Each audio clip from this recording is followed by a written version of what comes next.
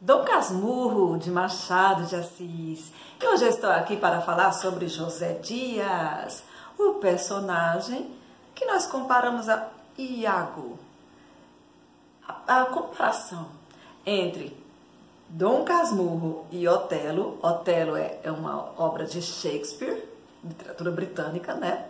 A comparação entre Dom Casmurro e Otelo ocorre no próprio texto. Dom Casmurro. E é muito comum acontecer. Bentinho era um ser ciumento. Ele fantasiou uma traição e se apegou a essa fantasia e por isso se, se transformou nesse homem amargurado, Dom Casmurro, que foi até morrer. Pensando na traição de que, é, é, que sua amada Capitu teria traído o seu amado com o seu amado Escobar. Já falei sobre ele, será o, o amado de Bentinho, enfim. E na tragédia Otelo, de Shakespeare, nós temos o próprio Otelo, que é, tem, tem a sua esposa Desdemona, e um amigo, Iago. O nome do amigo é, é Iago, né? O amigo que vai ao Otelo e começa a falar e colocar umas caraminholas na cabecinha de Otelo e alimentando aquele ciúme em relação a Desdemona. Acaba que Otelo mata Desdemona por causa desse ciúme e depois fica totalmente angustiado porque não sabe se traiu ou não traiu. E o amigo é, é o Iago. Então eu comparo José Dias ao Iago. José Dias é um grande amigo, né? é, é agregado da família, é um homem mais velho, é amigo de, de, de Bentinho, gosta de Bentinho desde quando ele era criança, cresceu ali naquele meio, porque chegou à casa da família de Bentinho quando o pai dele ainda era vivo e foi ficando ali e tal, né, morando ali e era muito é, é respeitador, gostava de elogiar muitas pessoas, adular as pessoas, né? para manter aquele prestígio com eles e tal. E, e, ele não fez, não agiu diferente com Bentinho, ele adulava muito Bentinho, gostava de fazer as vontades de Bentinho.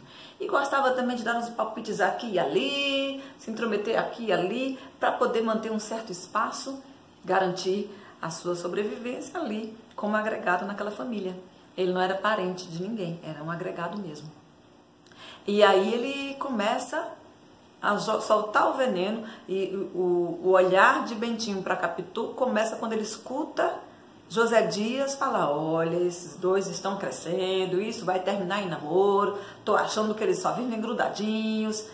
É, Bentinho escutou e foi assim que ele pensou, hum, seria interessante, né? É o natural da vida, eu sou um rapaz, estou crescendo, ela é uma moça, é o natural da vida que a gente se aproxime, vamos fazer valer isso daí, né?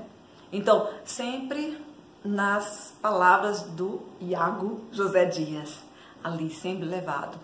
Aí teve um momento que ele começa a, a alimentar um ciúme também jogado pelo Iago José Dias, né? O Iago José Dias começa a falar: Oh, não sei não, tempo que você tá aqui no seminário, Capitu tá lá, ó, muito faceira, muito linda e maravilhosa andando por aí, e tem rapazes da vizinhança que estão de olho, eu não sei não, não sei não. Essa daí, logo, logo vai estar por aí pela, pela boca do povo.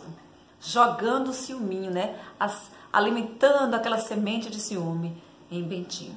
Então é isso, José Dias é o personagem que se compara ao Iago nesse Otelo brasileiro, Dom Casmurro.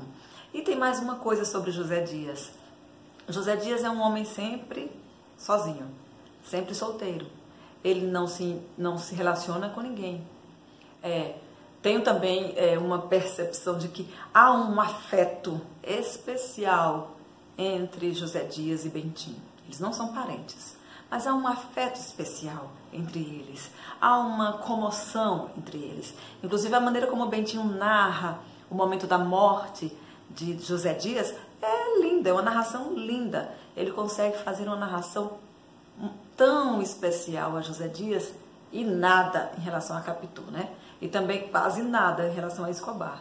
Né? Ele tem um, eles dois são pessoas que têm, são dois homens que têm um afeto especial, além do afeto de, de como se fosse um tio ali na família, né? De, uma, de um homem mais velho como se fosse uma figura paternal. Não, eles têm um afeto diferente, especial. É o Iago de Dom Casmurro, José Dias, um personagem que tem uma grande relevância. Não é à toa que eu escolhi os quatro mais relevantes: Bentinho, Capitu, José Dias e Escobar.